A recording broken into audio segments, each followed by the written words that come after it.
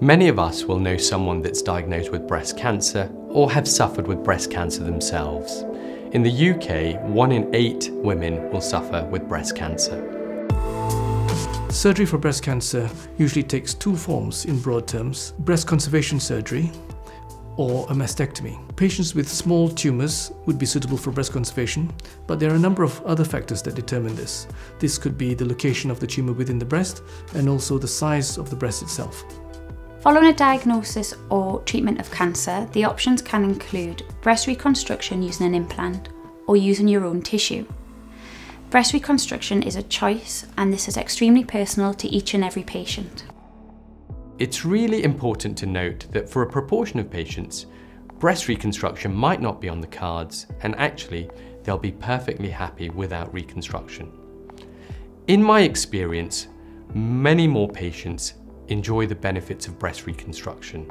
It's important to be well informed about these so you make the correct decisions.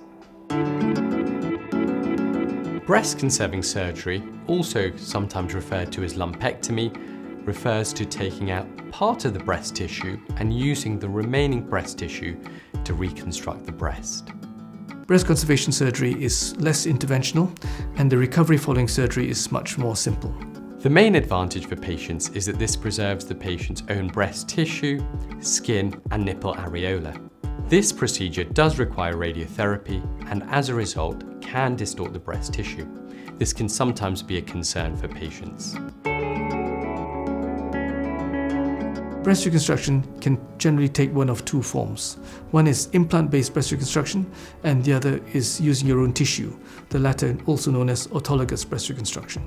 Implant-based reconstruction involves using often a silicone implant that is placed underneath the breast skin, either above or below the chest muscle, the pectoralis major muscle.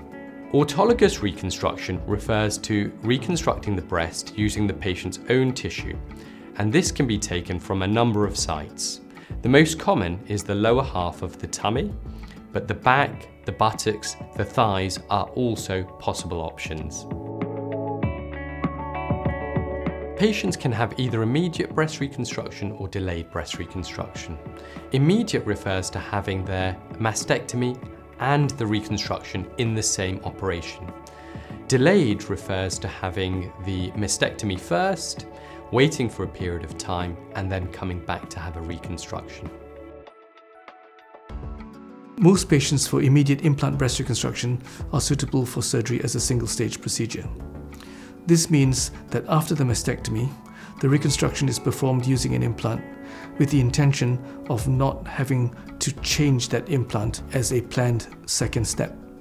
In single stage breast reconstruction, the aim would be to create the final product at the initial operation, and this has a great psychological benefit. Breast reconstruction with a tissue expander is a multi-stage procedure. In the first operation, we put a tissue expander underneath the skin. This is deflated. The patients then come back to clinic and we inflate the balloon with salt water. Once the breast is to the size that we require, we overinflate it a little allow a period of time for the tissues to stretch and relax. And once this has happened, the patient comes in for a further operation in which we take the tissue expander out and replace this with a permanent implant. Typically, the whole process can take up to about nine months. If you're thinking about breast reconstruction, there are many options available for you. It's really important to get all the information ahead of time. Speak to your breast reconstructive surgeon the nurse specialists, our patient support groups, and look for online information. You will then be well informed to make the right decision for you.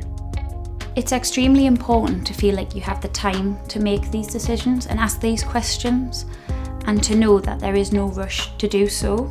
You are at the centre of your own care, and in order to make the right decisions, you need to feel very supported by your key workers and we are here to support you throughout that.